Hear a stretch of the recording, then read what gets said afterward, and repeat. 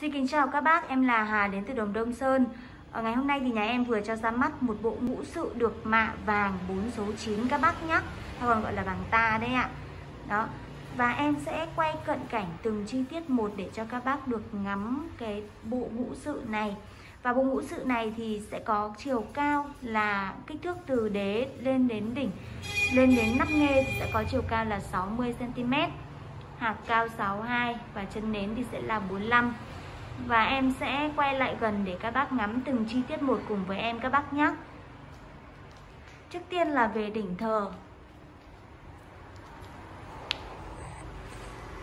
Đỉnh thờ này, các bác nhìn này, Đây là được mạ vàng rồi. Từng cái đường nét được mạ rất là kỹ luôn đây ạ. Đó, các bác nhìn này. Sáng bóng luôn.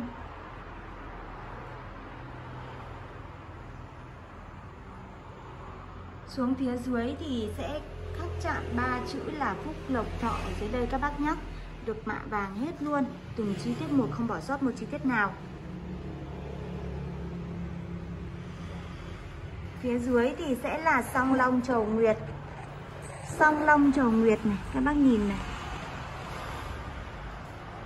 Rồng rồng được uh, mạ vàng từng đường nét một các bác nhé Nhà em làm bộ này rất là kỹ luôn đây ạ. Bởi vì cái hàng này là được mạ vàng 4 số 9 là Gọi là hàng VIP rồi các bác nha.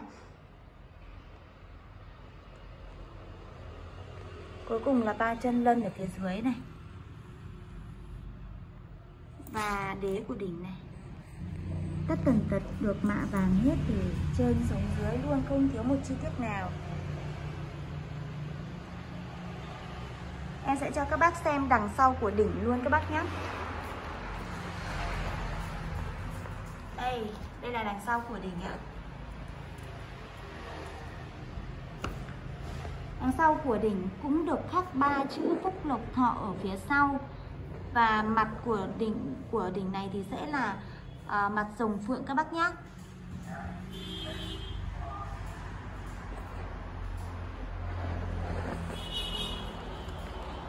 Tục phía hai bên của đỉnh thì sẽ là cặp hạt. Để em quay cho các bác xem này. Đây là cặp hạt ngự hai trầu hai bên của đỉnh.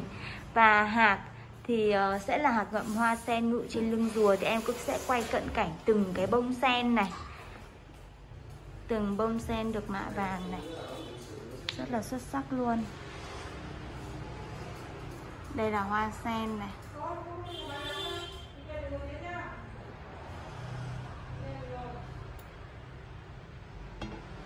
Và đây là rùa.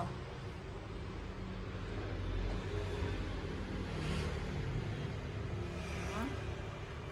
các bác nhìn này, từng đường lông của hạt này. Rất là sắc nét luôn.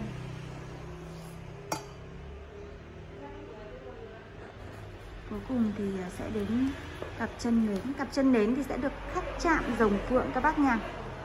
Khắc chạm rồng phượng này. Và có tứ linh. Đĩa nến thì sẽ là tứ linh. Tứ linh đó là long, ly, quy, phụng các bác nhé đây là bốn tứ linh có uy quyền nhất trong phong thủy.